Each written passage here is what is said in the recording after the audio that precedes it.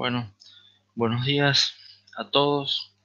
Ya la mayoría ya saludé individualmente, pero seguramente siempre hay algún par que, se me pasan o que se conectan al último momento. Así que estamos como para arrancar la clase de hoy. Hoy que tenemos el cumpleaños de Clímaco, así que después todos saludan a Clímaco por su cumpleaños. Pero con respecto a la clase, siempre tenemos que arrancar con lo que es el repaso de los conceptos claves de la clase anterior. Clase anterior que parece que fue hace un montón, por lo menos para mí. Ya no me acordaba nada de los conceptos clave. Y este, he visto que son varios conceptos claves, así que me un buen rato hablando de, eso. Martín dice que idem, que tampoco se acordaba nada de los conceptos clave lo cual sería grave porque significa que le va a ir mal en el quiz de hoy. Pero bueno, eh, por, suerte está el repaso. ¿Qué es lo que la semana pasada vimos? Empezamos con el tema 16, que es el tema de multiprocesamiento. Y vimos multiprocesamiento como la, la manera de seguir mejorando la performance, eh, manteniendo de algún modo fijo el consumo de energía. Eh, ya habíamos visto que antes el grado paralelismo era una manera de mantener, de cierto modo, la performance, se podía disminuir el consumo de energía. Entonces ahora la idea es justamente el, el contrario, es decir, bueno, si podemos mantener cierto consumo de energía, tratar de seguir mejorando la performance. Empezamos viendo varios inconvenientes que tiene, que no es fácil hacer una especie de multiprocesamiento por cuestiones de que genera varios overheads, ya sea por comunicaciones o por sincronización, y tiene problemas de coherencia también con, la jerarquía de memoria. Ya vamos a ver bastante sobre eso hoy. Y vimos que el mayor problema que tiene el multiprocesamiento es que en general no es transparente. Sea, multiprocesamiento implica que hay que hacer cambios en el software que uno escribe. Para, y eso, cualquier cambio en el software implica que ya lo hace difícil, porque no solamente es agregar cosas nuevas a las que uno ya sabe, sino implica eventualmente recompilar, redistribuir, o sea, ya, ya es otro, otro cantar, no es una cuestión que se hace automáticamente por hardware. Entonces, este tipo de multiprocesamiento ya tiene otro nivel de dificultad. Vimos también que performance sigue siendo la métrica más importante, pero en este caso es fuertemente limitada por la ley de Amdahl. Y vimos que hay una cuestión que a la hora de escalar los, eh, programas en paralelo, o escalar en múltiples procesadores múltiples núcleos, vemos que en realidad hay una fuerte limitación y que como todo programa tiene una parte secuencial, es muy difícil conseguir una, una aceleración alta, a tener muchos procesadores, por, las limitaciones de la ley de Amdahl. Entonces parece que eh, hay que buscarle la vuelta, ver cómo realmente hacer para aprovechar el hecho de tener múltiples procesadores múltiples núcleos. Por otra parte, hemos visto que, por más que performance sigue siendo la métrica importante, es importante la eficiencia y la escalabilidad. O sea, la eficiencia la, la, definimos como el cociente entre la aceleración obtenida y la cantidad de procesadores, y la escalabilidad como cuán fácil es, cuán, cuán simple es, de algún modo, obtener una, aceleración lo más cercana a la lineal, aumentando la eh, cantidad de procesadores. Estas son métricas que hacen también a eh, la importancia, digamos, cuando uno evalúa multiprocesamiento. La mayor, la, mayor, la mejor forma de obtener una buena escalabilidad es aumentando el tamaño del conjunto de datos.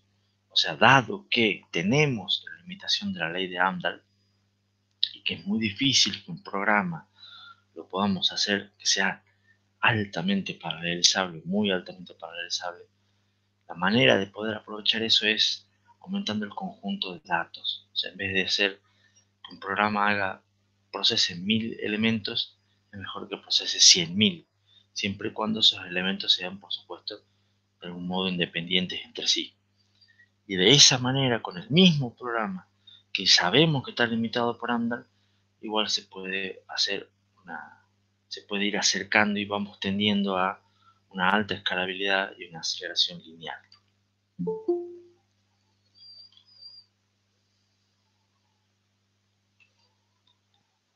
Después vimos también que una manera de escalar,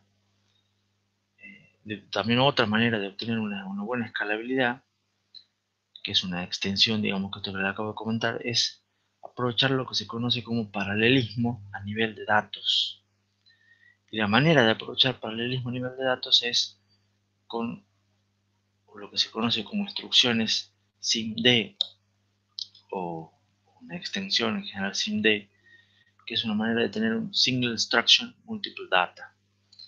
Y esa, eso implica de hacer, es una manera de tener el mismo flujo de un programa que se use para múltiples datos al mismo tiempo.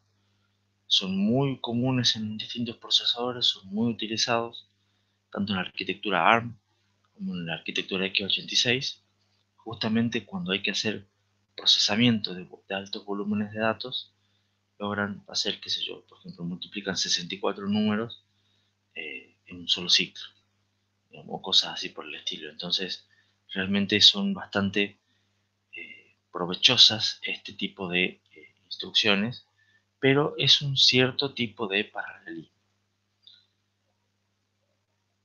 Después vimos otro tipo de que tiene que ver con threads. ¿Qué son los threads? Son como sub programas de un programa son independientes eh, entre sí, que la idea es que comparten recursos con el mismo programa. De esa manera, un cambio de thread es mucho más rápido que un cambio de tarea o cambio de programa. Un cambio de thread es dentro del mismo programa, entonces como comparte muchos recursos, es una cuestión que no hace falta invocar el sistema operativo, eh, estamos todos siempre dentro del el mismo programa eh, principal, Un ejemplo que les contaba yo, por ejemplo, era eh, el corrector ortográfico del navegador, el corrector ortográfico de Word. Entonces, con la idea de thread, surgió la posibilidad de hacer en el hardware lo que se conoce como multithreading. ¿Qué es hacer multithreading? Es hacer una especie de, aprovechamiento, digamos, desde el hardware para poder hacer, eh, aprovechar o, digamos, tener cada vez que un thread tiene alguna parada, alguna parada pequeña, ya sea por eh, fallos en el caché, fallos en el TLB, por riesgos eh, que pueden ocurrir, por fallos en la predicción de salto, o por algunas cuestiones que son inherentes al, a la arquitectura, digamos, de, la computadora, cómo se va ejecutando ese, ese paralelismo a nivel de instrucción, puede tener retardos. Entonces la idea es aprovechar esos retardos y ejecutar otros thread, ya que en principio cambiar de thread es mucho más rápido. Entonces la idea de multithreading es justamente poder mantener digamos, en ejecución más de un thread y, e ir intercambiándolos eh, cada vez que ocurre algún tipo de parada, algún tipo de retardo en la ejecución de un thread. Eso permite una mejora de performance con eh, tener que agregar pocos recursos adicionales dentro de todo, que es duplicar algunos registros y algunas otras cosas que mantienen el estado. Ese multithreading evolucionó a lo que es multithreading simultáneo, que la idea es en procesadores super escalares con ejecución fuera de orden, que son grandes, poder aprovechar todas las unidades funcionales disponibles con instrucciones de distintos threads. ¿Por qué instrucciones de distintos threads? Porque sabemos que por ser de distintos threads son instrucciones que son independientes entre sí. Entonces sabemos que son instrucciones que no tienen dependencia. Entonces son ideales para aprovecharlas en un procesador superescalar con múltiples unidades funcionales eh, que pueden ejecutarse fuera de orden. Y de esa manera, ahí estamos explotando al máximo lo que se conoce como paralelismo a nivel threads, o sea, paralelismo a nivel hilos. Ahora, la realidad dice que, en base a estadísticas y mediciones, vemos que en realidad las aplicaciones no están, muchas aplicaciones programadas para hacer uso de múltiples threads. Entonces, en realidad, sí conviene tener varios threads por núcleo, pero no muchos. Y en realidad conviene tener más núcleos. O sea, la conclusión es que está ahí el, el diapositiva. Conviene pocos threads por núcleos, dos threads o cuatro threads, no más que eso. Y conviene tener varios núcleos, da una mejor eh, eficiencia, un mejor aprovechamiento de lo que es distintos niveles de paralelismo. ¿Cuáles son las principales limitaciones al, multithreading? Bueno, una de las que, que acabo de contar, en general las aplicaciones no usan muchos threads, o sea, el software es una limitación, a veces porque no están programadas, a veces porque no pueden, a veces porque no se sabe cómo aprovecharlas. Y la segunda limitación es temas de seguridad. Multithreading, el hecho de compartir muchos recursos, eh, vamos a ver que es un, grave problema de seguridad. lo último, para cerrar lo que es el repaso, que ya llevamos como 10 minutos de repaso, eh, es que había quedado una consulta colgada que nunca nunca la respondí, que alguno de ustedes, no me acuerdo cuál, había preguntado un ejemplo de multithreading en gaming. Y me, había olvidado de responder la clase pasada, pero es muy bueno el caso del gaming, porque en gaming se dan muchísimos ejemplos de multithreading. En el chat me dice Lucas que fue él. Bueno, eh, buenísimo que se haga cargo de las preguntas. Pero en multithreading, en gaming hay distintos tipos de juegos pero es muy fácil encontrar ejemplos de multithreading. Por ejemplo, en juegos tipo eh, Counter o cosas así tipo Fortnite, es muy común que cada agente, o sea, cada, eh, digamos, rival que ustedes tengan que sea manejado por la computadora, eh, sea manejado con un thread. ¿Por qué?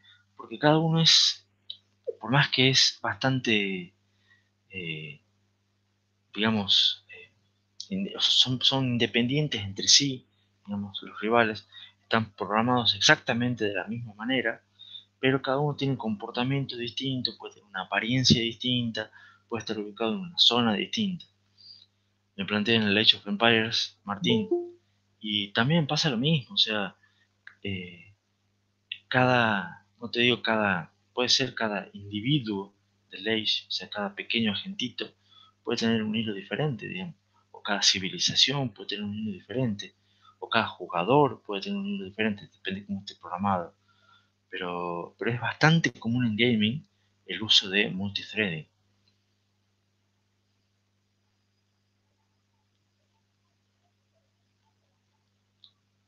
Piensen en otro tipo de juegos también, este, donde tienen que interactuar con, con varios personajes no jugadores. Este, es muy común que cada uno de esos personajes en un juego sea un thread. Piensen en juegos como GTA, por ejemplo, o juegos de, fútbol, cada jugador este, que no sea manejado por, un jugador estático puede ser un thread. E inclusive cuando son manejados por, por los por jugadores en un, juego como el FIFA, por ejemplo, ustedes mueven un jugador a la vez, pero los otros jugadores también se mueven, su equipo entonces, ¿cómo se manejan eso? Bueno, eh, normalmente con multithreading. Son distintos hilos del mismo programa. Bueno, ¿se entendió un poco la idea?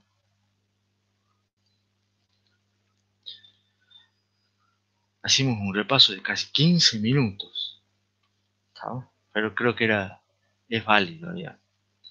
Con eso, ahora ya podemos arrancar con la clase de hoy en sí, que vamos a ver otra clasificación de multiprocesamiento, como dice ahí, y nos va a llevar un buen rato explicar algunos de los problemas que tiene esto.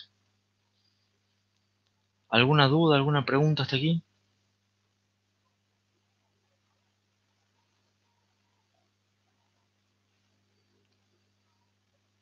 Bueno, asumo que no pasa nada. ¿Cuál es esta otra clasificación de multiprocesamiento?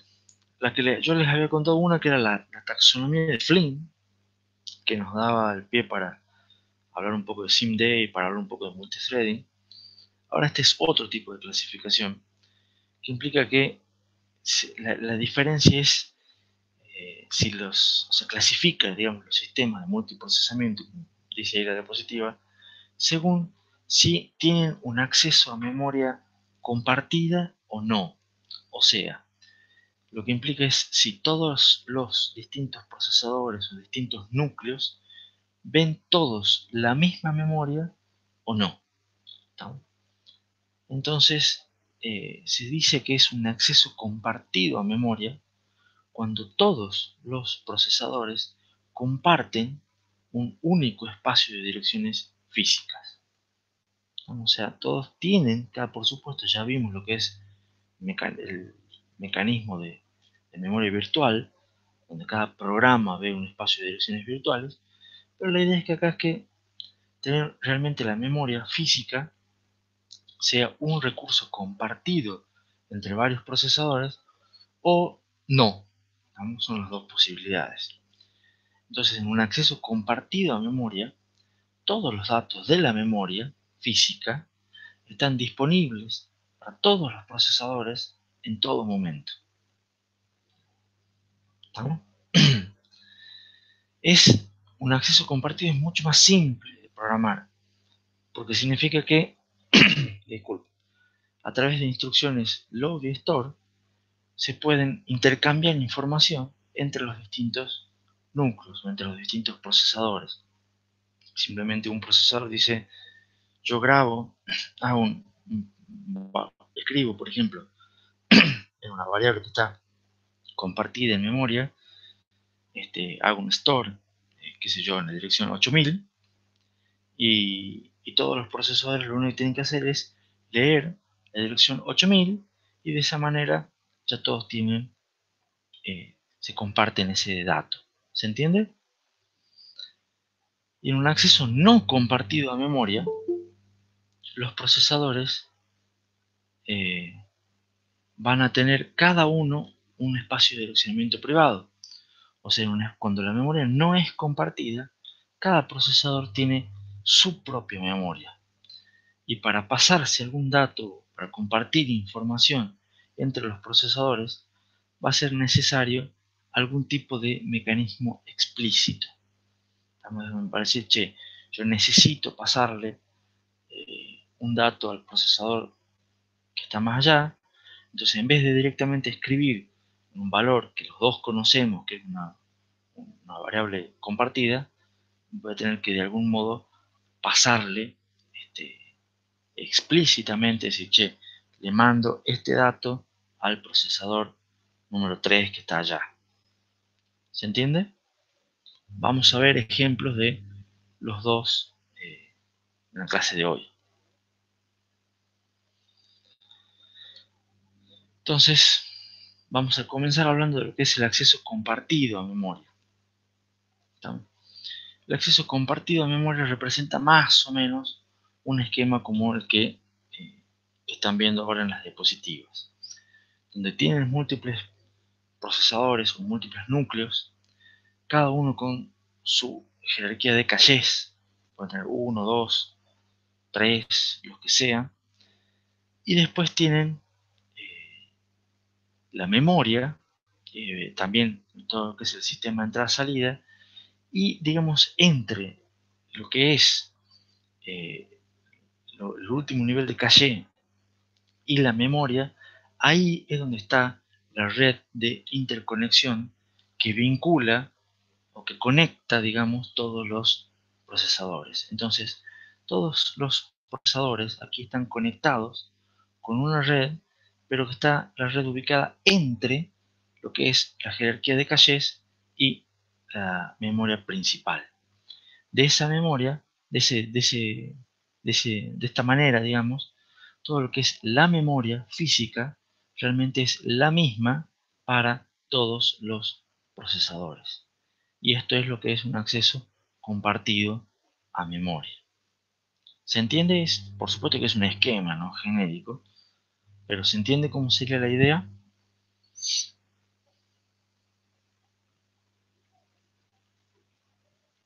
Este esquema también se lo conoce como un esquema de multiprocesamiento SMP. SMP quiere decir Shared Memory Multiprocessors, o sea, procesadores con memoria o multiprocesamiento, digamos, con memoria compartida. La idea de este esquema es que en general todos los procesadores tienden a ser iguales, se tienden a ser procesadores homogéneos. Todos son implementan el mismo ISA, tienen el mismo caché y se conectan con una red a través de la misma memoria, que es compartida para todos. Entonces todo es bastante eh, homogéneo, todo es bastante igualito, por decirlo así. Todos estos de eh, esquemas de acceso compartido a memoria también se pueden subdividir en dos y pueden ser lo que se conoce por un lado como acceso uniforme a memoria, que es un acceso UMA, es Unified Memory Access, en los cuales el acceso a memoria tiene la misma latencia para todos los procesadores, que vendría a ser algo como en este esquema que está aquí, digamos. Cada vez que un procesador quiere hacer un acceso a memoria, ese acceso a memoria tiene, para cualquier procesador, tiene siempre la misma latencia. Y eso es prácticamente la mayoría de los procesadores eh, multicore que conocemos. sobre todo los más eh, viejos, por lo menos decir multicore hasta, hasta un par de, años. Estamos los, todos los multicore de los últimos dos años, ya no sé si son tan así. En general, estos procesadores comparten todos a través del eh, último nivel de calle, que actualmente es el nivel 3. Y después también están, así como está el acceso uniforme a memoria, eh, también puede ser un acceso no uniforme a memoria, en los cuales ya cada uno tiene una especie de memoria local y por lo tanto la latencia de los accesos a memoria no es siempre la misma. O sea, la idea es ver también eh, a dónde está esta red y cómo es esta red. Entonces, en algún modo puede haber algunos pedacitos de memoria antes o pedacitos de calle después. La, idea es justamente dónde se ubica esta, esta red de interconexión. Entonces, el acceso a memoria, por más que es compartido y todos ven la misma memoria, no demora exactamente lo mismo. Esto pasa, por ejemplo, con este, algunos Ryzen de los más nuevos eh, tienen implementado un esquema así, en los cuales no es exactamente el, mismo retardo si se accede a eh, alguna, alguna, alguna memoria local que alguna memoria que está un poquito más lejos. Y acá tenemos, por ejemplo, alguna comparativa. ¿Estamos? ¿Qué es mejor? un acceso uniforme o no uniforme. Y en realidad es cuestión de me gustos. Eh, o, podría ir acá el clásico depende, que usamos mucho en la materia. En general, los tipo UMA son mucho más populares porque son más fáciles de programar. En el sentido de, tenemos la memoria compartida, sabemos que siempre la memoria demora lo mismo, entonces es más simple. Pero a veces puede darse el caso de que algún sistema NUMA, en el cual la memoria no sea uniforme, el acceso, la latencia no sea uniforme, puede proveer latencias menores. O sea, podemos explotar el hecho de que haya diferencias en la latencia para eh, tratar de siempre movernos con la latencia menor. ¿Se entiende? Y de esa manera, a veces es más, eh, digamos, complicado de hacer un sistema NUMA, pero puede llevar a que tenga una mejor performance. Por ejemplo, ahí les muestro un Ryzen, que es un, ejemplo de un Threadripper, o sea, son los procesadores que son más orientados a servidores, que tiene cuatro procesadores, pero en realidad solo dos de ellos tienen el acceso directo a la memoria. O sea, no todos los núcleos eh, pueden acceder directamente a memoria. Los otros dos, o sea, dos lo hacen directo y dos lo hacen a través de un bus interno. Entonces tienen una pequeña latencia mayor. Sin embargo, se puede hacer que la aplicación sea directamente movida a los procesadores que tienen más memoria, digamos, si es que necesitan mayor performance.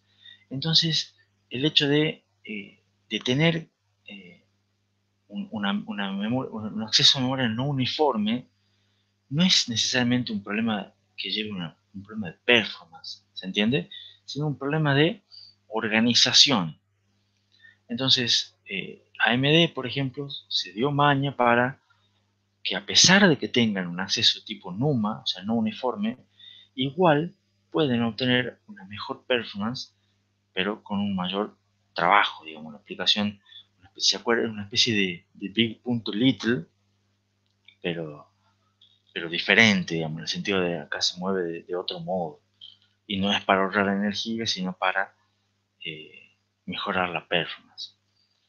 Pero la realidad es que eh, hoy en día no es, o sea, se, conocen los distintos tipos de, de accesos a memoria compartida, o existen el acceso uniforme el acceso no uniforme, pero la realidad es que este, son bastante difusas, digamos, hoy en día realmente cuál es la ventaja o la desventaja de cada uno de ellos.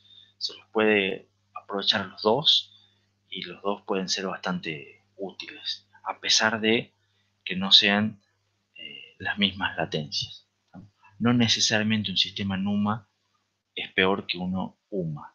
Y no necesariamente uno UMA, por ser más simple, eh, sea mejor que uno eh, no uniforme. ¿Preguntas hasta aquí?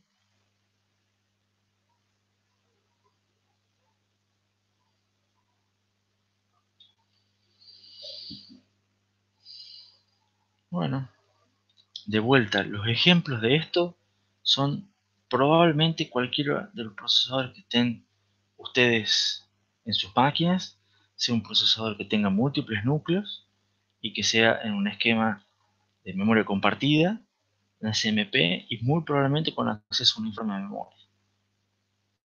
Como para que se den una idea de algo real.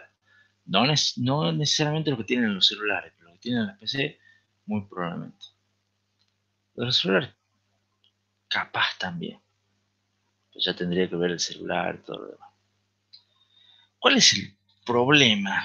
Tiene un problema gravísimo esto de tener la memoria compartida entre los distintos procesadores, los distintos núcleos. Y el problema que tiene es un problema que se conoce como el problema de coherencia de los caches. ¿Qué es lo que pasa? Como la memoria es compartida, es necesario mantener, es necesario un mecanismo en, en alguna parte del hardware que se encargue de mantener la coherencia de los datos. ¿Qué quiere decir esto de coherencia de calles o coherencia de los datos? Significa que uno asume estamos, que eh, todos los eh, datos, normalmente cuando uno veíamos la jerarquía de memorias, la jerarquía de memorias plantea la idea de que todos los procesadores ven eh, una gran memoria que es grande, rápida, infinita, y, ahora yo además estoy planteando que además es la misma para todos. Entonces este de la misma para todos genera un problema de que todos tienen que ver los mismos datos en todo momento.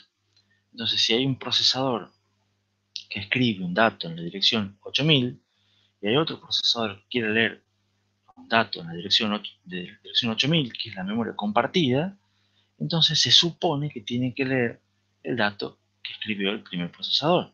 Y todos los que quieren trabajar con esa variable compartida, todos tienen que manejar siempre el mismo dato. Bueno, resulta que no es tan así y hacer eso es un problema. Y ahora lo vamos a ver por qué. Como dice la diapositiva, dos procesadores o más podrían intentar acceder a la misma dirección de memoria compartida y obtener valores diferentes. ¿Cómo es posible esto? Ahora les muestro un ejemplo con caches que son de tipo write-through. Y si fueran write-back, el procesamiento sería, o el análisis es bastante similar. Y ustedes yo les muestro una tablita como esta que está a continuación. Ustedes plantean, inicialmente tenemos dos procesadores A y B, eh, cada uno con su caché, y tenemos un dato en la memoria. Entonces, ese dato es una variable compartida. Por ejemplo, la que estoy usando, tenemos un valor en la dirección 8000 o 1000 o la que sea. Y ese valor tiene actualmente en memoria un 0. Entonces, resulta que en el primer momento, en el primer instante, el procesador A quiere leer eh, esa variable compartida X. Entonces no la tiene en su caché, lo cual genera un fallo de caché. Va a buscar la memoria, en memoria está ese valor 0, entonces lo que se hace es se lo copia al dato en el caché de A. Entonces ahora el procesador A tiene el dato en su caché, tiene ese 0. Luego el procesador B quiere leer esa variable compartida, en el paso 2, entonces de vuelta no la tiene en su caché, tiene fallo de, de caché, va a buscarlo en memoria, ve el dato del 0 en memoria y lo copia en su caché. Hasta aquí todos deberían, me deberían estar siguiendo sin problema, en caso de eh, fallos de caché normales de los que ya conocemos. Ahora pasa después que el primer procesador, el CPU A, quiere escribir un valor nuevo en esa variable compartida. Entonces, en este caso, escribe un 1. Entonces, ¿dónde lo va a escribir? Es una escritura de datos, la va a escribir obviamente en su caché. Y como es un caché de tipo write-through, lo va a escribir también en memoria. Entonces ahora el caché del procesador eh, A y la memoria todos van a tener el valor nuevo, que es el 1. ¿Está claro hasta aquí? Ahora la pregunta es, ¿qué pasa si después en el paso 4 el CPU B quiere hacer una lectura de X? Y si yo quiero leer mi, eh, quiero leer el valor que tengo en la variable compartida. ¿Qué valor va a leer el CPU B?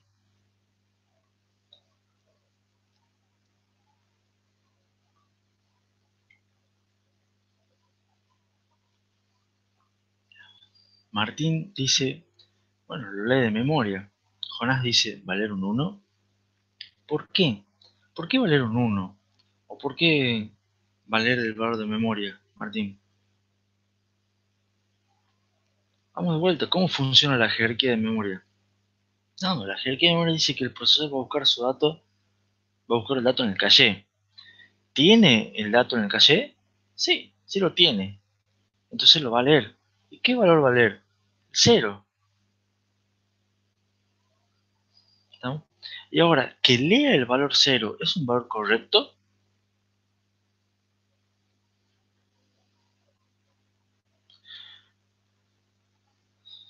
No, no es correcto que lea el cero. ¿Por qué? Porque se supone que el procesador A escribió un valor nuevo en la variable compartida. Entonces se supone que esa es la variable compartida entre los dos procesadores. Entonces, realmente, ¿por qué el procesador ve valer un 0? Y bueno, porque ya lo tenía guardado en su caché. Ya lo leyó antes, entonces ya lo tiene en su caché. ¿Me siguen?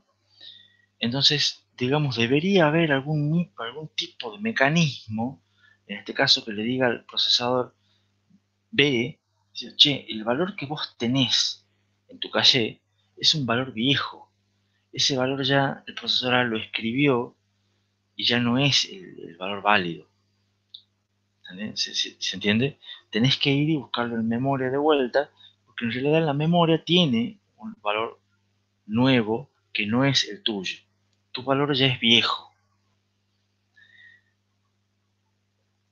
He dicho de otra manera, este, este dato de valores viejos y valores nuevos, en realidad es una cuestión de eh, que son valores coherentes. O sea, la idea es que se le debe decir al procesor B, el valor que vos tenés en tu calle ya no es coherente con el valor que tiene el otro procesador ni el que tiene la memoria.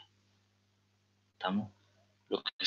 De ahí viene la palabra coherencia. Entonces se dice que el procesador B tiene un dato que ya no es coherente con el resto del sistema. Entonces Luca me plantea, bueno, tendría que poner algún tipo de dirty bit que cuando escriba un procesador lo marque. O sea, o algo así, porque necesitas saber que los otros procesadores puedan saber que está modificado. Pero no se me ocurre cómo saber si está en un caché de otro. Claro, e, e, ese es el tema. O sea, Lucas más o menos se le va ocurriendo alguna idea. Hay que proveer algún mecanismo, está claro. Pero el tema es cómo hacemos para saber eh, cuando hay, otro que escribió. O sea, un procesador está ejecutando un programa. ¿Cómo haces para vos para enterarte de lo que está haciendo el otro? Es todo un tema. Y justamente fíjense la pregunta que sigue. ¿Qué pasa si después hay un tercer procesador, un CPU C, que quiere leer X, quiere leer la variable compartida? ¿De dónde la tiene que tomar? ¿Tiene que tomar el valor de memoria o tiene que tomar el valor de alguno de los cachés? Porque ahora, recuerden, tenemos eh, los dos cachés de los dos procesadores tienen valores distintos. Entonces la pregunta es, ¿cuál es el valor correcto? ¿Cómo se sabe cuál es el valor correcto? Hay, algunos valores que son correctos en el sistema y otros valores que no. Entonces, ahí es donde está el problema de coherencia de los cachés. Ahora, yo les hice ese dibujo con un caché write through. Si fuera con un caché write back, pasaría un, mecanismo similar. O sea, el caché write back, cuando escribe en el caché, no escribe en memoria. Entonces ahí es eh, ese, ese, ese, procesador, ese caché de ese procesador es el único que tiene el valor eh, actualizado, el valor nuevo. ¿Se entiende? Todos los demás tienen un valor viejo. Eh, entonces la, la idea, de todos modos, el problema de coherencia, no importa quién tiene el valor nuevo ni quién tiene el valor viejo, sino es que va a haber partes del sistema que van a tener un valor y partes del sistema que van a tener otro valor para el mismo dato compartido. ¿Se entiende más o menos lo que es el problema de coherencia? ¿Se entiende por qué ocurre el problema de coherencia?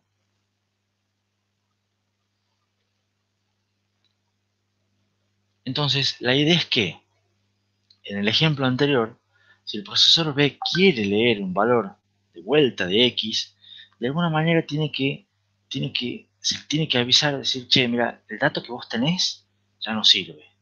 lo que tenés que hacer es ir a buscar de vuelta memoria a ese dato. A pesar de que vos creas que lo tengas en el caché. ¿Y cómo se hace? ¿Cómo es el mecanismo? ¿Cómo se hace para avisarle? Es lo que se conoce como protocolos de coherencia de cacheo, los protocolos de coherencia. Son mecanismos los cuales se dice, che, ¿cómo se hace para que los distintos procesadores y los distintos se, se charlen entre sí, se comuniquen entre sí y se mantengan los datos de manera coherente? La idea es de algún modo llevar un registro, de algún modo llevar una especie de registro de qué procesador tiene qué dato y, o, qué bloque de caché en realidad y llevar un registro de cómo y cuándo es compartido cada bloque. recuerden que los datos siempre entre, entre la jerarquía de memoria se mueven de a bloques de caché. Ahora, los protocolos de coherencia más populares son de tipo snooping. ¿Qué es snooping? Snooping es un, chismoso, básicamente.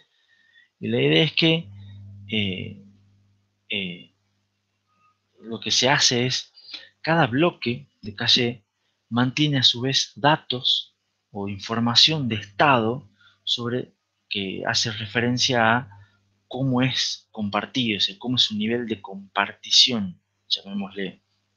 O sea, cada dentro, ¿se acuerdan que había los bits de, estado, digamos, de, un caché, de la etiqueta? Estaba la etiqueta, bit de validez, bit de ensuciado, si es un caché, un caché write back, podría haber permisos también, y además hay otros bits que significan para mantener información sobre su estado. Sobre su estado en el sentido de coherencia. Son bits que se agregan también a, lo que es etiqueta, lo que es bit de validez, etc. Y la idea es que todos los caches son accesibles desde un único bus compartido. O sea, recuerden de vuelta el esquemita que, con el que empezamos hoy. Todos los caches están conectados, o sea, por lo menos los calles de, último nivel que están conectados, están conectados a una red de interconexión. Entonces, esa red, ese bus compartido, es lo que todos los calles lo están permanentemente monitoreando. Están haciendo este snooping, que es estar permanentemente escuchando qué es lo que pasa en ese bus y para ver todas las transacciones de cuando alguien pide algún dato a memoria, todos anotan si Juancito eh, pidió el dato 8000, Juancito escribió el dato tanto, y se están permanentemente registrando de algún modo todas las operaciones de lectura y escritura eh, sobre ese bus compartido. ¿Están? Por supuesto, en el VAS las transacciones se realizan de una por vez. O sea, en el VAS tiene, eh, no se pueden poner varios datos simultáneamente en el VAS, porque es único. Entonces, es de esa manera como las transacciones se hacen de una por vez, permite alguna especie de serialización de todos los accesos a memoria. Y como les dije recién, todos los calles monitorean permanentemente el VAS compartido para saber si alguien tiene una copia del bloque que se está solicitando. ¿Se entiende? Entonces, cuando alguien dice, che, eh, hay un procesador allá, el procesador 4 quiere hacer un acceso a la dirección 8000, con que es compartida. Entonces, todos se fijan, a ver, alguien está pidiendo la 8000, yo tengo el, el bloque que corresponde con la dirección 8000, entonces si alguien tiene el bloque que se corresponde con la dirección 8000, bueno, algo va a pasar. por lo menos están todos escuchando y todos monitoreándose para ver si este, eh, se necesitan los datos. Entonces, si se detecta que en el bus hay alguna transacción sobre un bloque del cual se tiene alguna copia, entonces se realiza alguna acción.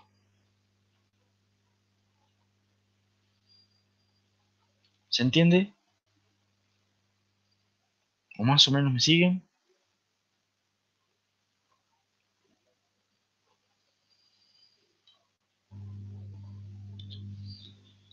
¿Cómo hacemos esos protocolos de coherencia? Hay varios, los cuales yo les voy a contar lo que son más simples, digamos. Por un lado es, cuando hay un procesador, llamémosle A, que escribe en una dirección de memoria, llamémosle X, entonces cuando se hace esa escritura, directamente todas las otras copias de esa misma dirección de memoria que puedan existir en otros cachés de los procesadores se marcan como inválidas. Entonces, en el ejemplo que nosotros habíamos visto, cuando el CPU A escribía un 1 en la dirección de memoria compartida y le quedaba un dato en cero al procesador B, ¿se acuerdan? La idea es decir, en realidad cuando se hace la escritura, cuando el procesador escribe, manda una señal diciendo, que yo escribí eh, la dirección 8000, entonces avisa y por ese, por ese bus se envía una señal de invalidación, que se llama, que es una, señal de, como decía un write invalidate, que dice todo aquel que tenga un bloque de caché que contenga la dirección X, entonces marque ese bloque como inválido. Si lo tenías, no importa, ya no lo tenés más, porque significa que ya es un dato viejo. Eso implica, fíjense, que cada vez que se hace una escritura de un dato, ese dato sea exclusivo de un único procesador. O sea, nadie más va a poder tener ese dato.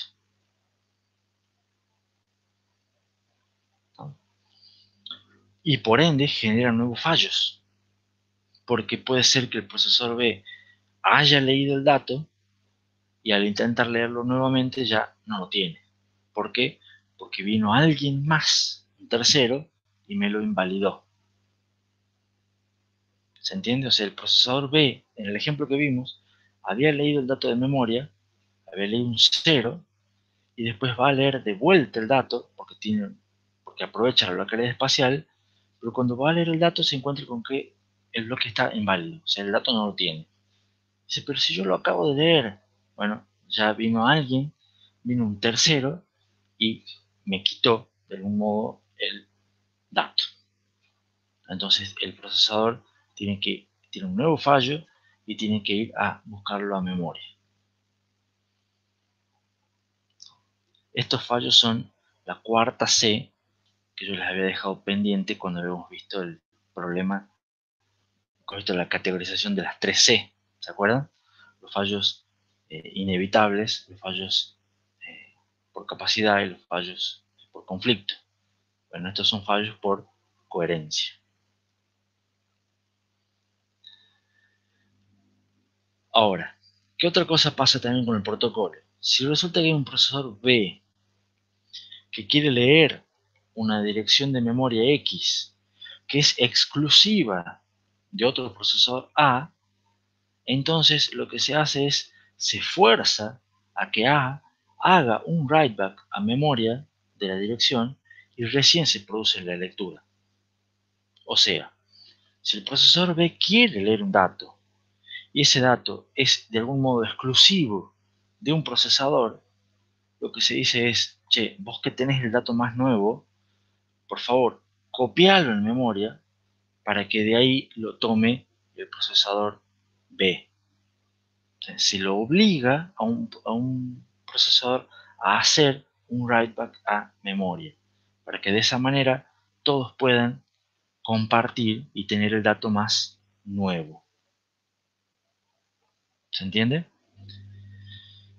Ahora, por supuesto que no es que se espera que el procesador A escriba en memoria y después cuando se escribe en memoria recién el procesador B lee el dato.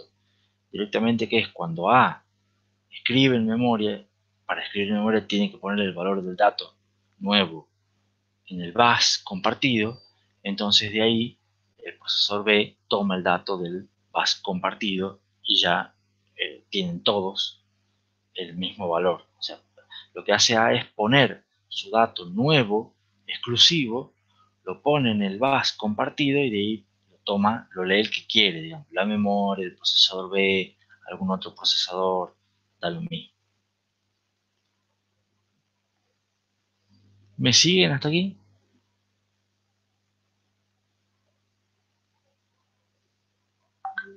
¿Se entiende la idea principal esta del write invalidate y de este, de este write back a memoria de cuando alguien necesita un dato que tiene otro? Bueno, genial. Porque eso me da pie para eh, mostrarles lo que es un protocolo eh, digamos, el protocolo completo, digamos, simple, eh, que es uno de los que no se usa, digamos, porque académico, pero es la base de lo que se usa. Todos esos protocolos, yo esto que lo estoy contando, son implementados con una máquina de estado finito. ¿Dónde? Es una máquina de estado finito que está en el, en caché de último nivel de cada procesador, en el last level cache, ¿se acuerdan? Y en realidad no es en el caché de último nivel, sino dónde está el límite entre memoria privada y memoria compartida de cada procesador. O sea, si tenemos, si cada procesador tiene tres niveles de caché y después viene la memoria compartida, entonces estos protocolos de coherencia están en el caché de nivel 3. Pero ahora, si los procesadores tienen un caché de nivel 3 que es compartido entre los distintos procesadores, entonces el protocolo de coherencia está implementado en el caché de nivel 2. ¿Se entiende? Siempre es en el que, donde está el límite, digamos, entre el que es memoria privada y memoria compartida, ahí es donde tiene que estar el protocolo de coherencia. Y digamos que, en, resumen, digamos, la versión más simple del protocolo, el bloque de caché puede estar en uno de tres estados. Puede estar inválido. Sabemos que es, el más simple es, el caché no tiene ese bloque. Entonces es eh, un estado con el bit de validez que venimos manejando, es el mismo. Si, si ese bit de, validez no está activo, entonces el bloque está inválido. ¿Estamos? Después, otro estado es modificado. ¿Qué implica el estado modificado? Es el bloque, eh, un procesador lo escribió, ¿estamos? Entonces, de esa manera ese bloque es exclusivo de ese procesador. Solo ese caché tiene la versión válida del bloque. Es el único que tiene el dato válido. Y si no, después también está el estado compartido. El estado compartido implica que el valor, el dato que tiene ese bloque de caché es el mismo que está en memoria y que también puede estar en otros procesadores. Entonces, con esos tres estados se define el protocolo que es el más simple, que es el protocolo MSI, se llama, por modificado, exclusivo e inválido. ¿Preguntas con respecto a la definición de los estados? ¿Se entiende lo que son, lo que representa cada uno de esos estados MSI?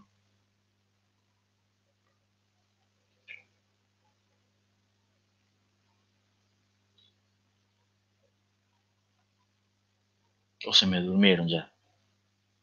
Bueno, ahí Juan dice que se entiende. Luis también. Roberto se ríe porque en realidad se estaba durmiendo. Claro, claro.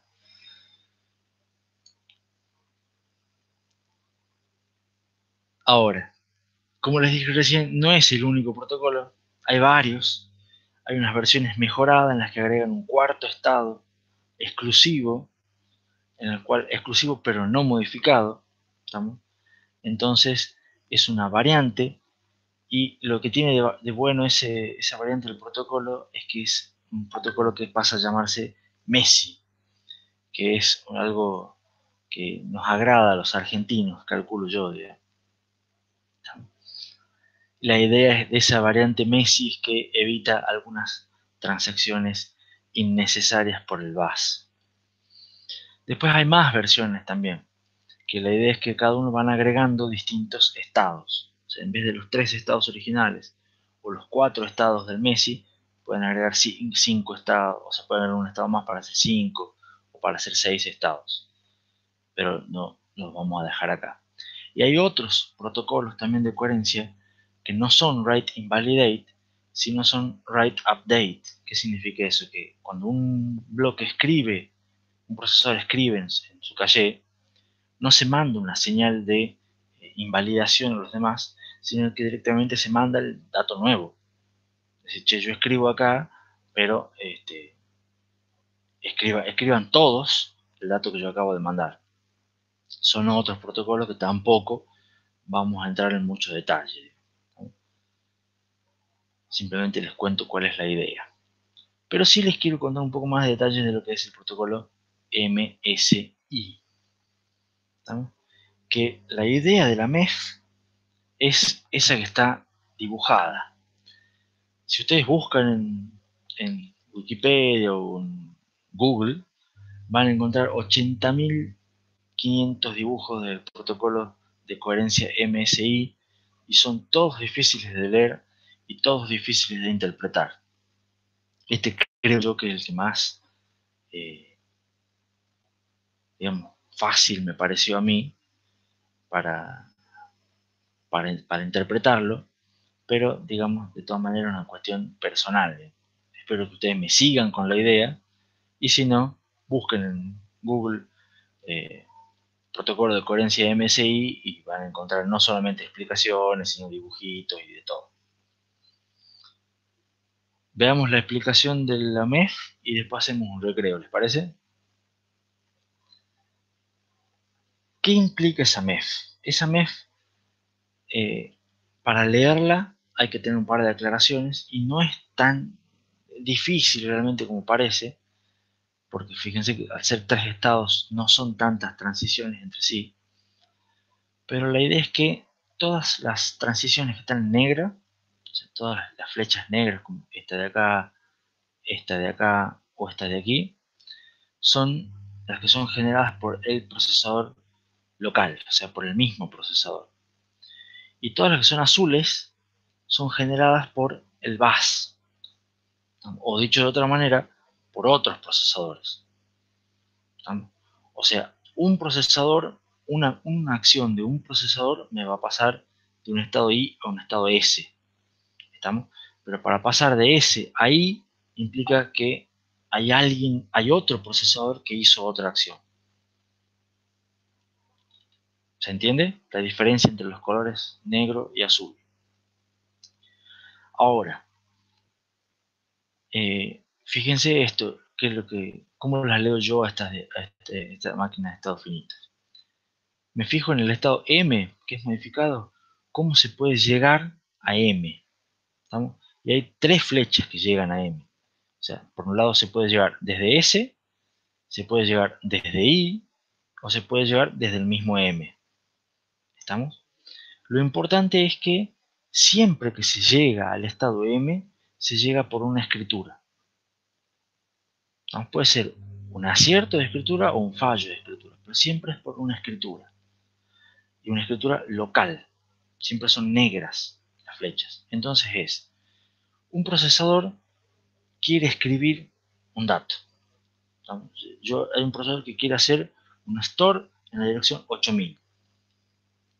Entonces se fija, si ese dato está en el caché, significa que tiene una, ese dato debería estar en el, estado S. Entonces, cuando lo va a escribir, va a tener un acierto, estamos en, en la escritura, porque el dato está en el caché, y si está en el estado, va, puede estar en S o puede estar en M. Pero si está en el caché, va a estar en uno de estos dos. Entonces, la escritura, que me dice processor write, me lo va a, llevar, si está en el estado S, me lo lleva al estado M. Si está en el estado M, processor write, me lo deja en el estado M. ¿Está claro? Y ahora, si yo voy a hacer una escritura y no tengo el dato en el caché, significa que el dato está inválido. Pero de vuelta, un procesor write, que viene este PRWR, me lo lleva del estado inválido al estado M.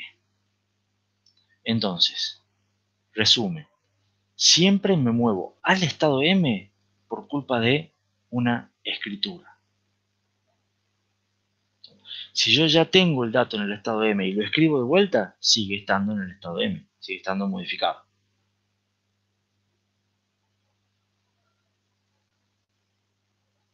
¿Se entendió hasta aquí? Ahora, lo que pasa es cuando yo tengo alguna escritura en el estado, o sea, cuando yo escribo y voy al, o sea, un procesador local lleva un dato de cualquiera de los dos estados al estado M, esto genera que en los otros procesadores se invalide el bloque en los demás caches, porque son los protocolos write invalidate.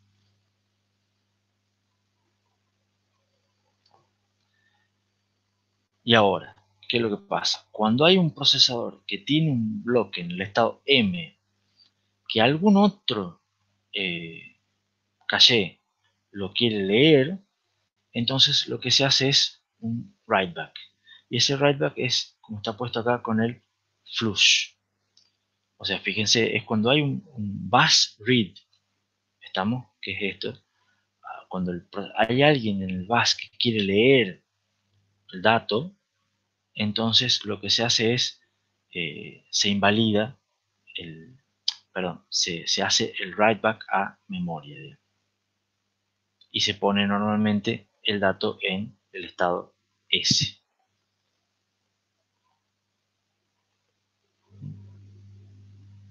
Entonces,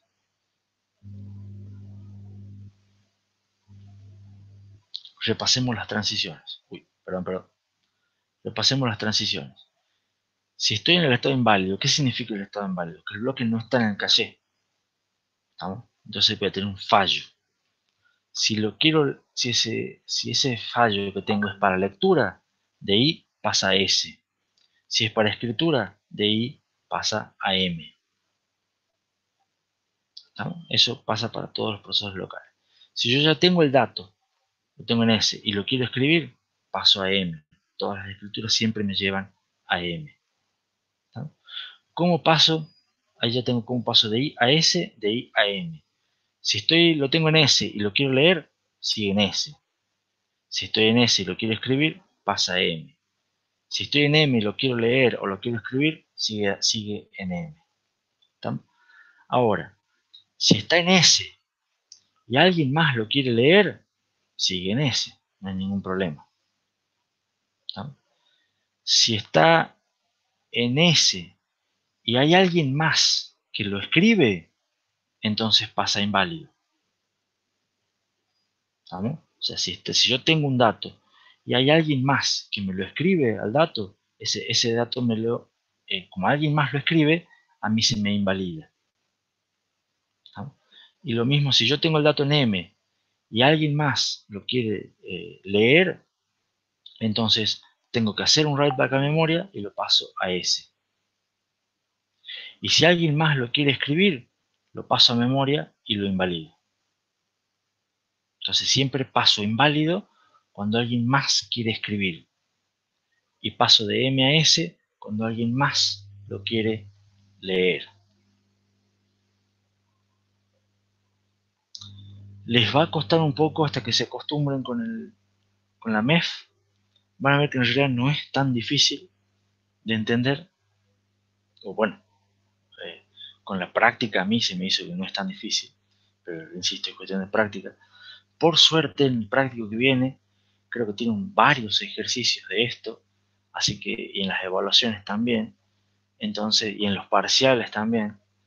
Entonces, en general, van a, espero que tengan la suficiente práctica como para poder terminar de eh, comprenderlo y que después terminen siendo expertos en protocolos de coherencia de, de caché.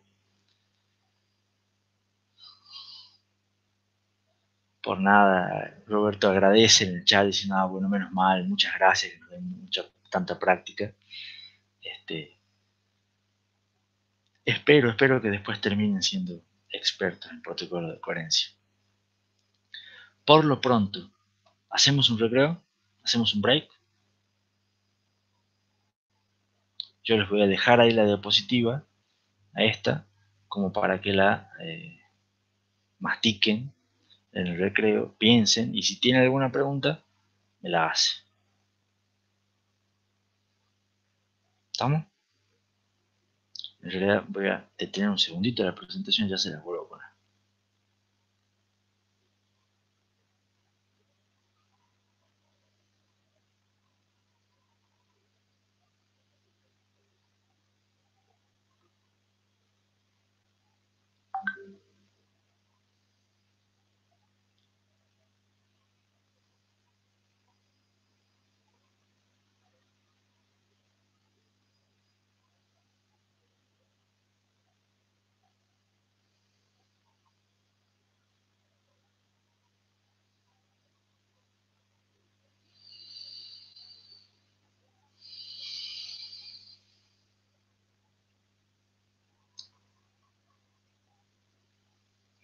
ahí está de vuelta el protocolo MEF, el protocolo MSI, para que lo analicen, si tienen ganas, y hacemos un requerito corto, 5, 6 minutitos, y, y ya continuamos.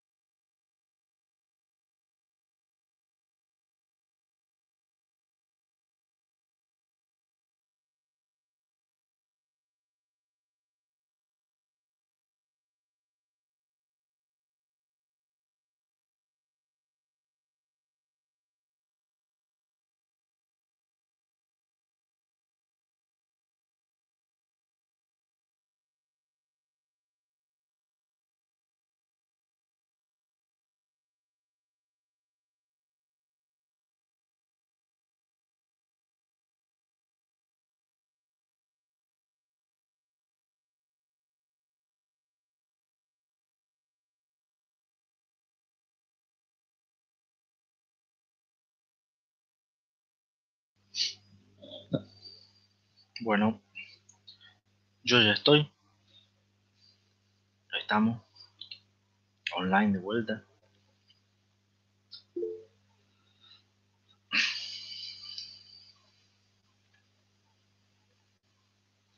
Antes de hacer la diapositiva clásica de cronograma a corto plazo,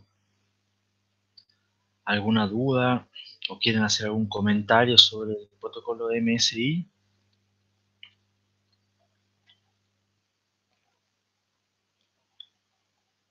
No por ahora, seguramente la semana que viene van a salir las dudas.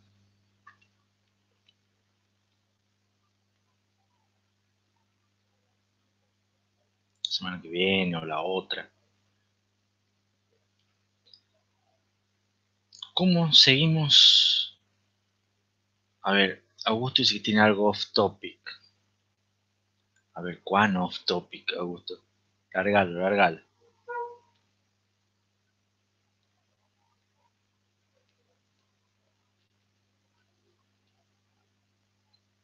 Dios. Dice que ayer desarmó una computadora vieja.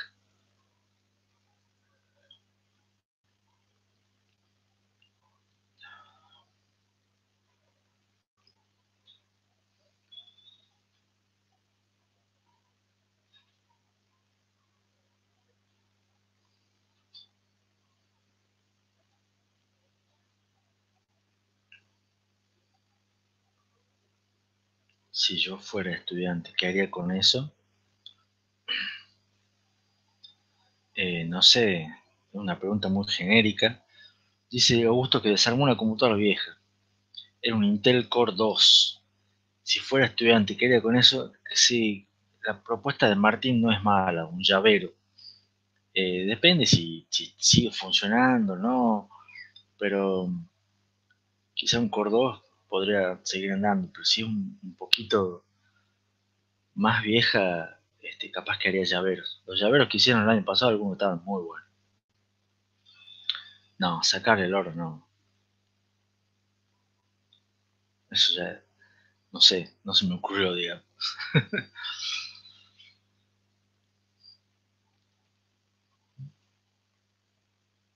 en fin. Vamos a los próximos pasos eh, en el cronograma. es que vamos a seguir viendo el tema 16. Uf, parece que a las 13 rinden el práctico 6. Yo me había olvidado que es miércoles y no lunes. Eh, espero que estén más o menos bien preparados. En principio se publicará el práctico 7 hoy, que sobre el tema que estamos viendo. Eh, este tema de, protocolos de coherencia de calle es lo último que, está en el práctico, o sea, no, lo que sigue eh, no, son temas que, están muy tocados con ejercicios prácticos y que no hay problema. Hoy vamos a cubrir todos los temas necesarios para el práctico, por más que no terminemos el tema 16. Y el tema 16 seguro lo terminamos el viernes y empezamos el tema 17. Que eh, ya por suerte, digamos, ya todos saben, es el último tema de teoría. Y el práctico 7 que publicamos hoy es el último práctico también de la materia. Entonces ya por suerte estamos llegando al final. ¿Preguntas sobre el cronograma?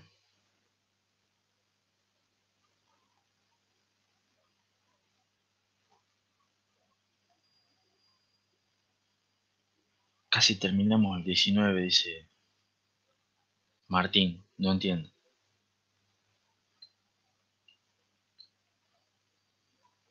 Ah, ¿de terminar el 19 de junio? Ah, no, no, no. No, no creo que terminemos el 19 de junio. Porque quizás podríamos haber terminado el 19 de junio si hubiéramos empezado en, en en la semana que deberíamos haber empezado. O sea, acuérdense que hemos empezado una semana después.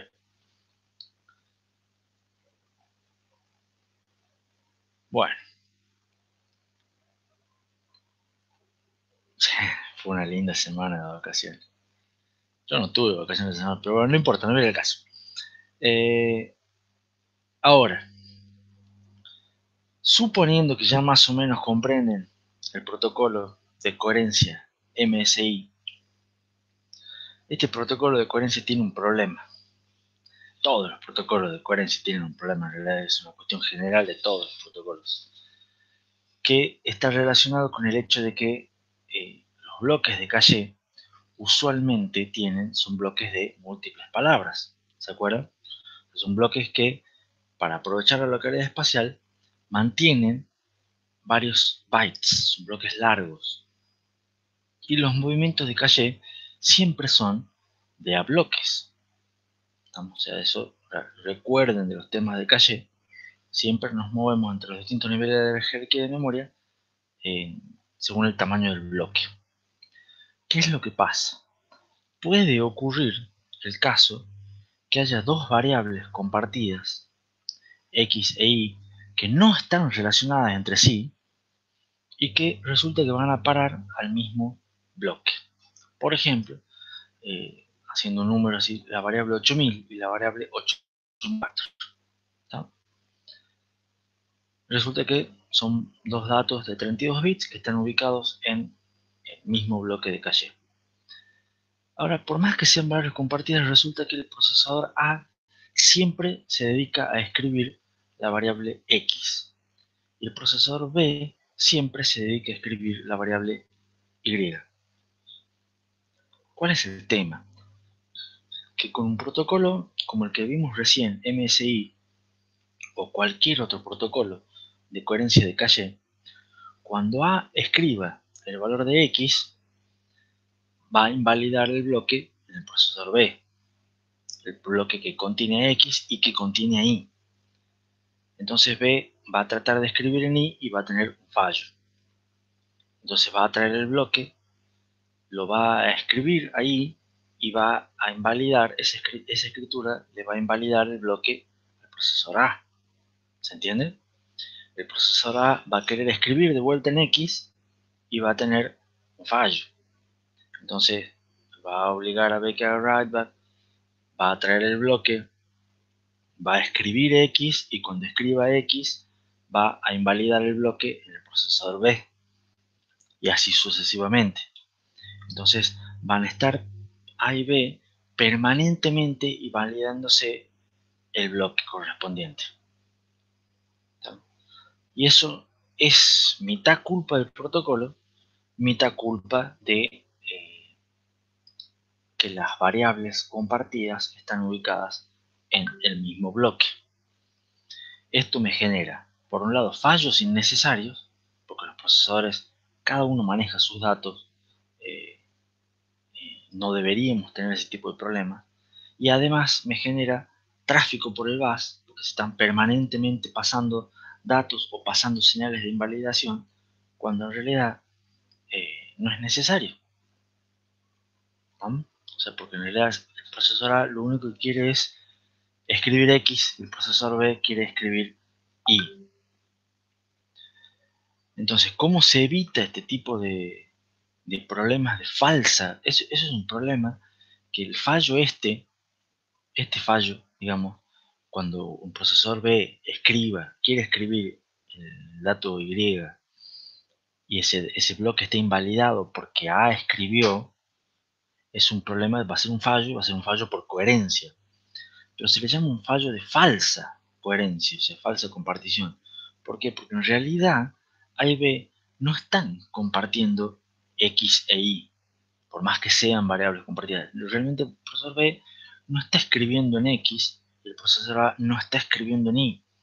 Entonces, ¿por qué se invalidan eh, los datos entre sí si uno solamente escribe en un lado y el otro solamente escribe en el otro? Y el problema es porque eh, las dos variables van a parar al mismo bloque. Entonces, una manera de evitar esto es simplemente teniendo mucho cuidado dónde ubicamos las variables compartidas en memoria. Entonces, un buen compilador, un buen, un buen programador que sabe este problema de coherencia de calle, cuando va a generar una variable compartida en memoria, tiene cuidado y las ponen por lo menos para que estén en bloques eh, separados. De esa manera se evitan los problemas de falsa compartición o falsa coherencia. ¿Se entendió más o menos el problema?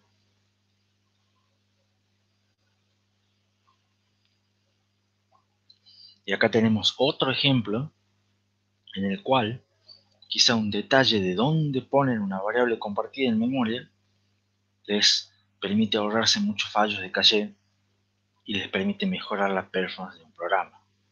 Simplemente diciendo a esta variable compartida la voy a poner más lejos de esta otra variable compartida. Y para saber eso, tienen que saber algo de arquitectura de computadoras.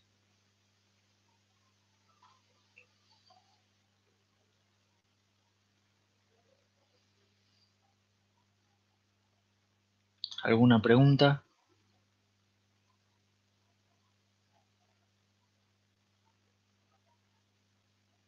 Bueno, entonces ahora les cuento un poquito cómo sería un acceso no compartido a memoria.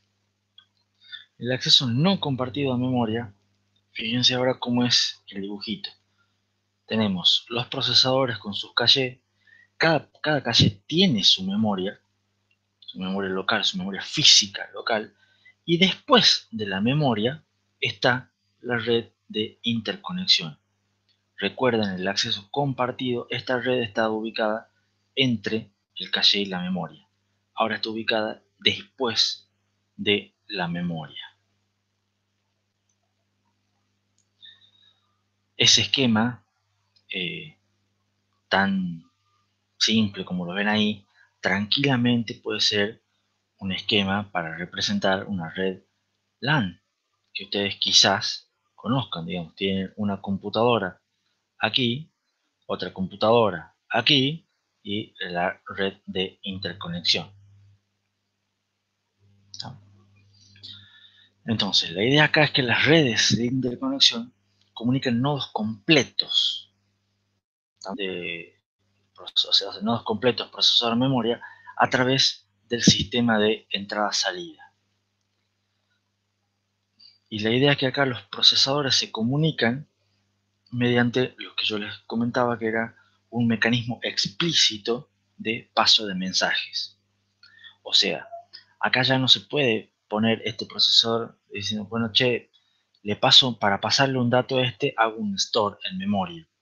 Porque cuando este haga un store en memoria, lo va a copiar en esta memoria. Y cuando este haga un load de la dirección 8000, lo va a leer de su memoria 8000. ¿Se entiende? Entonces acá ya no hay una manera en que estas memorias sean iguales y no hay un protocolo de coherencia de estas memorias en este nivel.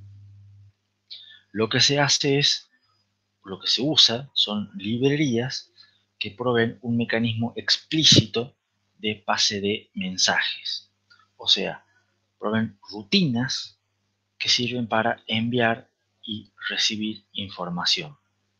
Las rutinas, por ejemplo, son, como dice acá, del tipo send y del tipo wait. Entonces, cuando este procesador le quiere pasar algo a este de acá de la otra punta, le manda y dice, che, yo quiero enviar al procesador y un dato. Entonces utiliza una rutina de tipo send. Entonces ese send va a decir, che, enviemos por la red de interconexión este dato K al procesador. Y se va a ver una librería que va a hacer esa, esa transacción por la red de eh, conexión. Y también está, digamos, cuando uno espera recibir información, la instrucción es del tipo wait en el cual un procesador espera un dato K de un procesador, de otro procesador J. Entonces simplemente se queda, dice, bueno, yo ahora no puedo seguir procesando porque estoy esperando un dato. Cuando alguien mande ese dato, yo continúo con, ya recibo la información que tengo, que necesito, y puedo continuar con mi procesamiento.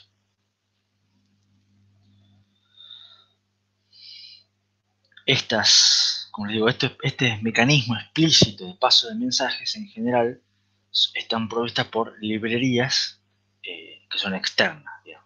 Y en los programas, o sea, cada, cada código que corre dentro de cada procesador, tienen que estar no solamente importadas las librerías estas, sino tienen que utilizar este tipo de instrucciones. Que quizás no tengan exactamente ese nombre, pero siempre tienen esa forma, digamos, la misma idea, mandar un dato a un procesador o esperar un dato de un procesador. ¿Se entiende?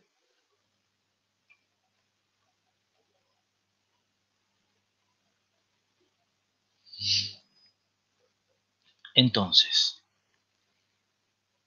la clave en este tipo de procesadores, cuando la memoria, en este tipo de configuración, multiprocesamiento, cuando la memoria no es compartida, la clave está en la red de interconexión.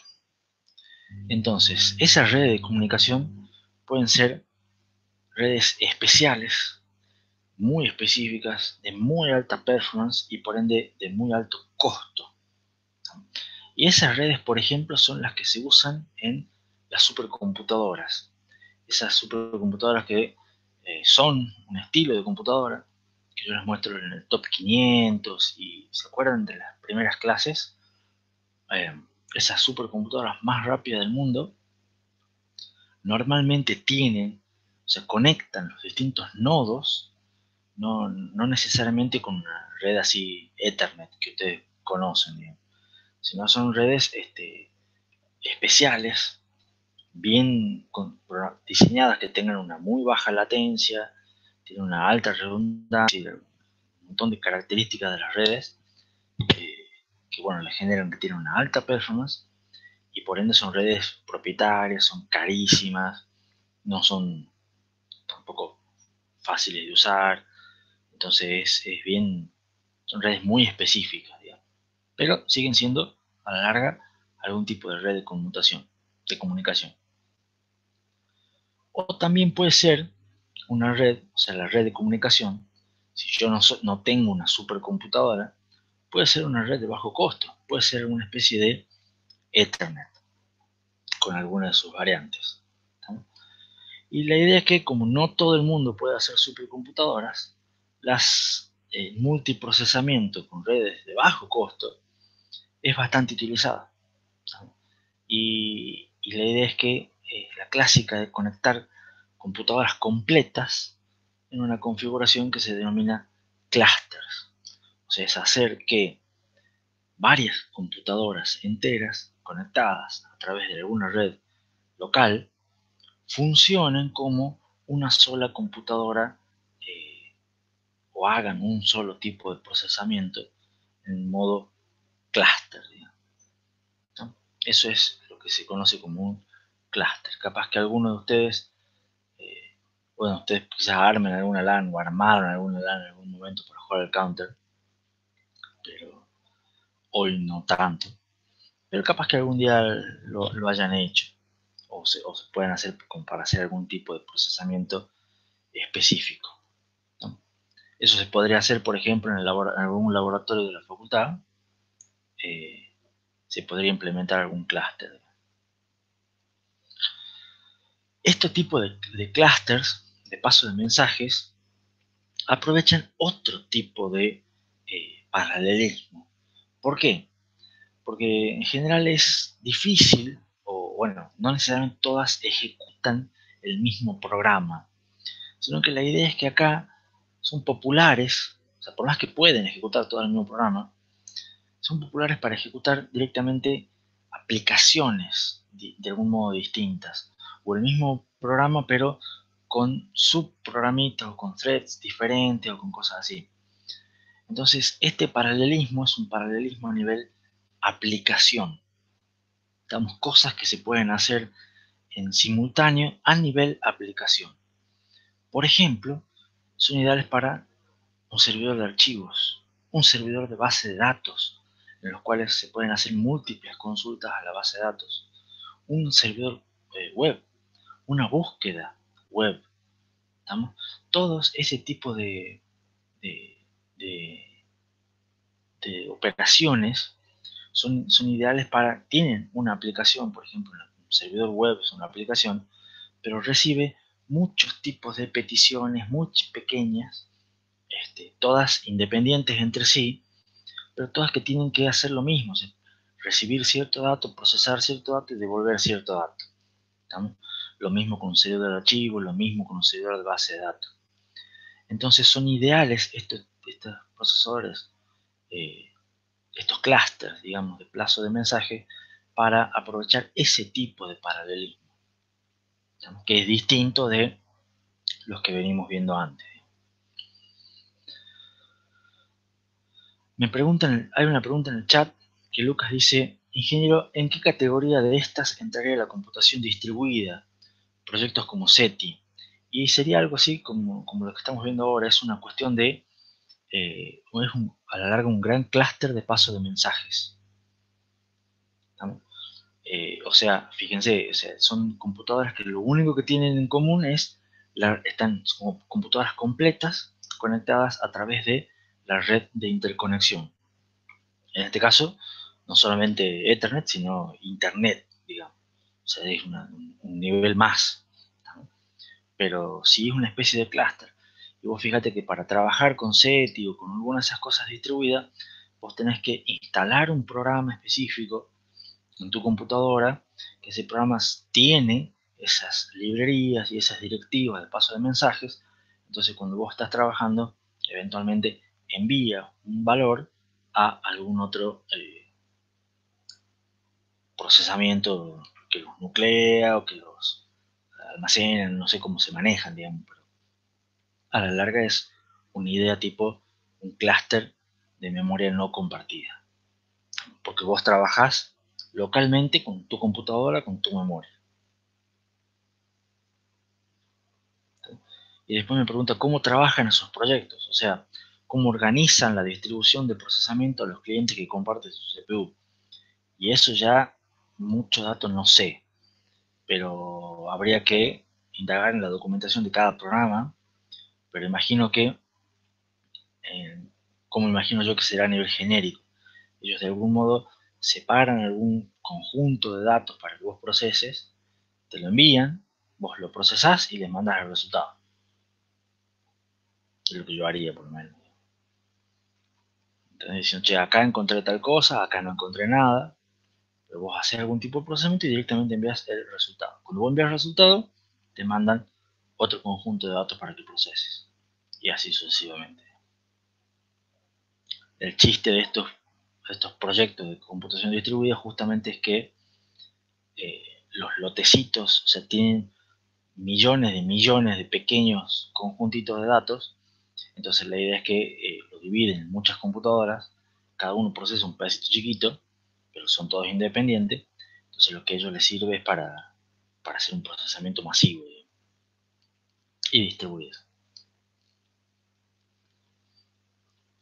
Pero en lo que respecta a arquitectura de computadoras, sí, es exactamente un clúster eh, organizado mediante paso de mensajes y un clúster de memoria no compartida.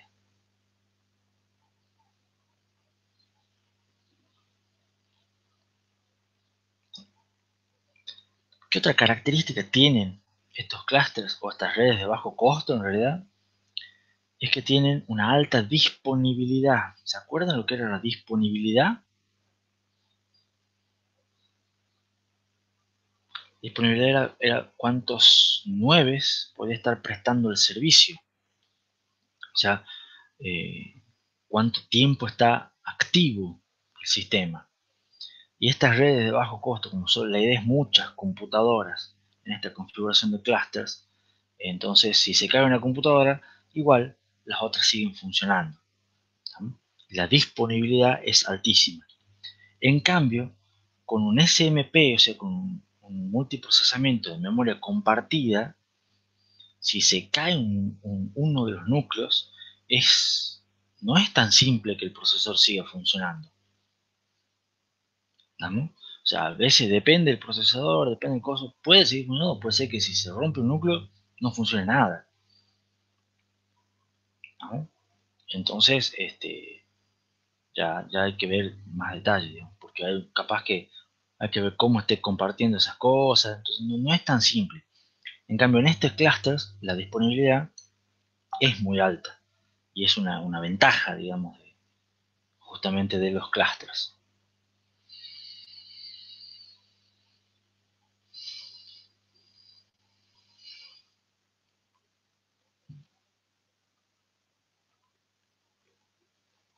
Otra ventaja que tienen los clusters, es lo que dice el último, es que son muy fáciles de escalar. Se tiene una, muy alta escalabilidad. ¿En qué sentido? Como tienen que procesar, o sea, la idea están hechos para que procesen datos independientes y como en general todos son el mismo programa, ya que está escrito con la misma librería de paso de mensajes, entonces conectar una computadora más a la red para que ejecute el programa no es un gran esfuerzo. O sea, la computadora es cualquier computadora que consiga, la conecto a la red, ya amplío la capacidad de clúster, le instalo el programa que quiere ejecutar. De esa manera ya todos hablan el mismo idioma y ya simplemente es un nodo más funcionando. Eh, después veremos si funciona bien, si funciona mal, eso es otra historia, pero ya es un nodo más funcionando. Entonces, eh, con eso son muy fáciles de escalar todos los clusters de eh, paso de mensajes. Que no es lo mismo escalar un sistema de memoria compartida. Porque en un sistema de memoria compartida, agregar un nodo es no solamente agregar un núcleo, tenemos que ver el protocolo de coherencia, eh, son varias cuestiones, consideraciones que hay que tener. No es tan simple.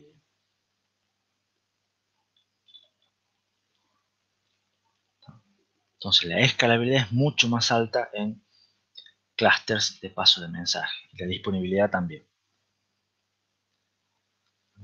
Ahora, ¿cómo siguen estos clusters de paso de mensaje?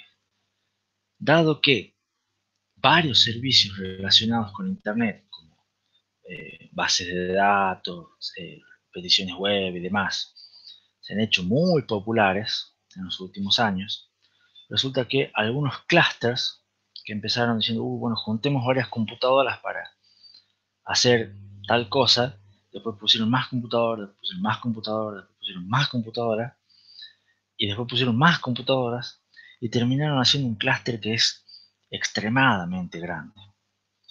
Y esos clústeres extremadamente grandes se llaman, o se conocen hoy en día como eh, Warehouse Scale Computers, que Warehouse es un eh, depósito un almacén, digamos, sea, son computadoras de escala eh, depósito, por decirlo así, que justamente son esos, digamos, son los que son las granjas de servidores, también se las conoce, donde están, ya les dije, muchachos, Amazon, Facebook, Google, todos esos a la larga tienen, entre otras cosas, los eh, servidores estos con memoria no compartida que se comunican con paso de mensajes. ¿Y cuál es el tema de estos warehouse scale computers? Que son tan grandes que el tamaño realmente incrementa notoriamente la complejidad. ¿Por qué? Pues ya no estamos hablando de cómo conectamos unas 10 máquinas para jugar al counter, Estamos hablando de cómo conectamos 100.000 servidores. Entonces es, es un número. Entonces eh, hay que ver realmente cuestiones de latencias, cuestiones de comunicaciones, cómo se hace eso para que 100.000 servidores puedan operar sin problemas simultáneamente. Y además genera otros problemas que son, digamos, eh, intrínsecos, pero que al tener un volumen tan grande se, se, convierte en un problema que hay que atacar. Por ejemplo, bueno, uno obvio, el espacio físico. O sea, uno puede conectar 10 computadoras para que hagan algo, y bueno, 10 computadoras ponen un aula, un laboratorio. Pero si tengo que conectar 100.000 computadoras, ¿a dónde ponemos 100.000 computadoras? Entonces, imagínense, por ejemplo, si quisiéramos hacer un laboratorio en la facultad con 100.000 máquinas. Sea, hay que tener realmente un espacio específico dedicado para eso. ¿Cómo, ¿Cómo, alimentamos, con qué enchufe, con qué instalación eléctrica alimentamos 100.000 máquinas? ¿Qué consumo de energía va a tener esas 100.000 máquinas? ¿Qué ¿Cuánto vamos a pagar después la factura de la luz? ¿Cómo vamos a hacer para que en verano esas 100.000 máquinas que están en quizá una habitación este, se mantengan lo suficientemente refrigeradas? ¿Cuántas, ¿Cuántos aire acondicionados vamos a tener que poner? Por el espacio físico que va, que va a requerir, por el calor que va a generar. Y además los aire acondicionados van a aumentar más todavía la factura de la luz. Entonces uno empieza a decir, bueno, no es tanto, pero fíjense ahora cómo decir, bueno, yo tengo una, un procesador que me disipa 100 vatios de energía. Entonces, ah, bueno, cuando tengo un procesador, usted tiene en su computadora, no es nada 100 vatios, un ratito que la están usando mientras ven la clase. Pero cuando tengo 100.000 servidores me consumen 100 vatios las 24 horas del día, ¿eh? pasa a ser números grandes. ¿Se entiende? Entonces, el tema de estos warehouse computers es que todos son números grandes. Entonces, que uno dice, bueno, yo voy a reducir el consumo de los procesadores para que en vez de 100 vatios consuman 98, uno puede decir, ah, bueno, no es nada, un 2% menos pero un 2% menos multiplicado por 100.000 es notoria la diferencia. ¿Se entiende? Entonces, este, lo que tienen estas computadoras de gran escala son tan grandes que pequeños detalles, pequeños ajustes, ganar un, un 1% de aceleración es un montón. ¿Me siguen con la idea? Otra cuestión que tienen es que la tolerancia a fallos es muy crítica. Yo algo les había comentado, o sea, a este tipo de, de warehouse que computers, uno dice, bueno, yo tengo discos, bueno, pero cada cuánto se rompe un disco. Estos, estos tipos se les rompen varios discos por día. Y a pesar de eso, tienen que seguir funcionando. ¿Por qué se les rompen varios discos por día? Porque tienen una enorme cantidad de discos. En general, todas estas Warehouse Scale Computers proveen lo que se conoce como Software as a Service. ¿Conocen el término? Básicamente son, es la popular nube, es el cloud computing, eh, que es lo que es decir, eh, son directamente servicios de software en los cuales ustedes no instalan programas, sino que los programas están todos en algún lado. Y lo que ustedes, lo que los servidores tienen, o sea, lo que los proveen este servicio es decir, yo tengo el programa, por decirlo así, y vos me haces un pedido, yo te doy un resultado. Entonces ya para tener todos correo electrónico, no hace falta instalar un, un cliente de correo electrónico, como antes era el Outlook de Microsoft o estaba Thunderbird, por ejemplo, sino que ahora todos tenemos Gmail. ¿Y dónde se almacenan nuestros mails? Y pues, en algunos servidores de Google, ya no los tenemos local nosotros. Simplemente tenemos algunos locales como para accederlos rápido, pero son las cuestiones de, localidad temporal. Pero, ¿qué, ¿cómo hacemos cuando queremos revisar los mails? Y le hacemos a través de cualquier dispositivo alguna petición a Google y Google nos dice, mira, tenés tantos mails nuevos, tus mails son estos, revisarlos y nomás. Pero en la realidad, la información la tiene Google, no la tenemos nosotros, y la tiene algunos de sus servidores.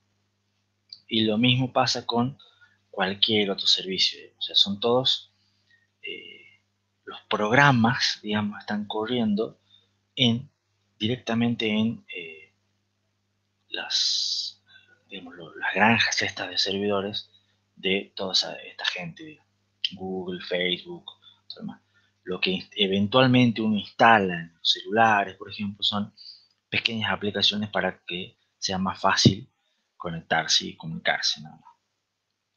más fácil, más práctico, más bonito. como lo quieran.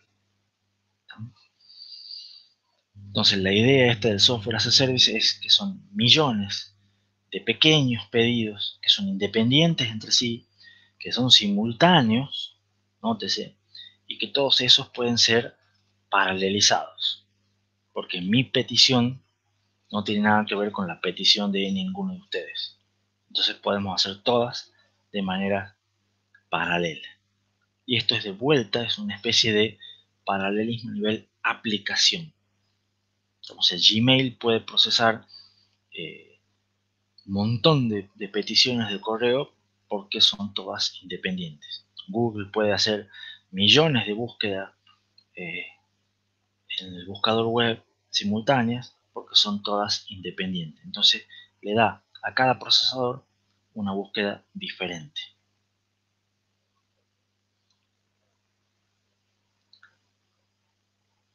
¿Se entendió la idea? Entonces, para terminar la clase de hoy,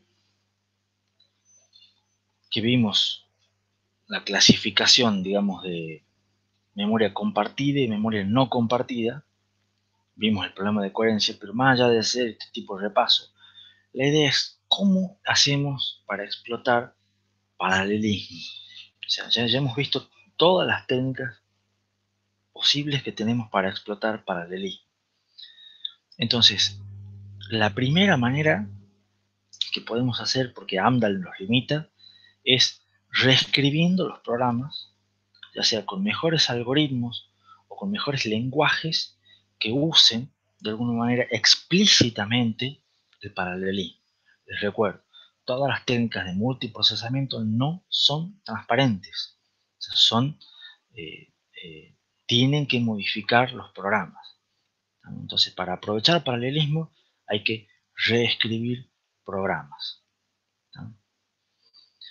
Siempre, por supuesto, tratar de concentrarse en la parte más lenta, la parte en la que más tiempo de CPU me consume. De a esa yo le puedo aplicar, aplicando la ley de Amdahl, que es haciendo más rápido el caso más común. Entonces el caso que más tiempo me, me, me lleve es el que tengo que intentar reescribir para poder paralelizar mejor y poder obtener mayor eh, ganancia por multiprocesamiento. Importante siempre recuerden, es muy difícil escalar, eh, sin, o sea, es muy difícil obtener aceleración sin escalar los datos.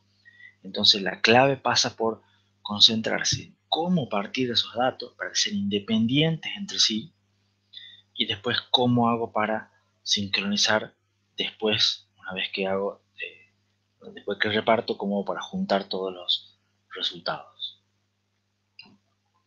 Y hay distintos enfoques para explotar paralelismo. Paralelismo a nivel datos, que se puede hacer con instrucciones del tipo SIMD que tienen los procesadores. Paralelismo a nivel thread, que es cambiar los programas para que aprovechen distintos threads ligeros, que son subprogramas, digamos, o sea, escribir las funciones como subprogramas que se ejecuten de manera independiente, o paralelismo a nivel aplicación, es decir, directamente hago varias tareas al mismo tiempo, reescribir los programas para que sea una especie de eh, software as a service, o sea, reescribir la manera de, brindar mi software para de esa manera recibir un montón de peticiones chiquitas y esas montón de peticiones poder procesarlas en paralelo. Creo que con eso yo... Ah, y bueno, lo que les dije recién, recuerden, en general es muy difícil escalar paralelismo sin escalar datos. O sea, sea como sea que quieran agregar paralelismo, no se compren un procesador que tenga más núcleos si realmente no lo van a usar. No conecten cuatro computadoras en red si realmente no tienen datos para procesar, porque van a estar bajando la eficiencia. ¿Se entiende? Entonces, no, por más que aumenten un poco la performance, van a bajar la eficiencia global. La manera de, aprovechar el paralelismo la mejor manera de aprovechar el paralelismo es escalando en datos.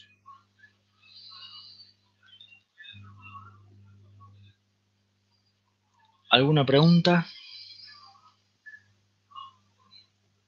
¿Se entendió? Más o menos la última parte. Yo sí diría cortar acá. Queda un pedacito de tema 16, pero lo vemos sin ningún problema el viernes. Ya estamos casi en horario.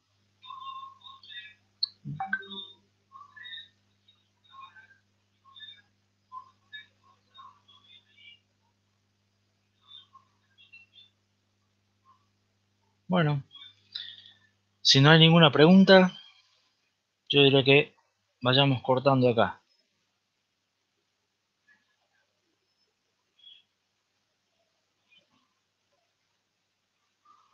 Vamos a detener la presentación y vamos a detener la grabación también. Me despido chicos, nos vemos el viernes entonces, que vaya bien y que tengan mucha suerte en el examen de mediodía.